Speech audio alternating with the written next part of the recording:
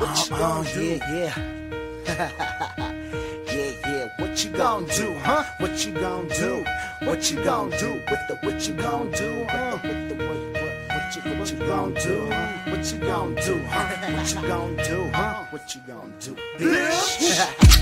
Yo, what you gonna do when I get my piece? Tell the motherfuckers to release the beats. Get them one by one, different piece by piece. Never said I think nigga beat them beats. Motherfuckers end up like geese and me. Motherfucker with a killer bee. I can't cut the number, little bit more, just cause you don't know the way we roll, we go. We make the whole show go low to the flow, yo.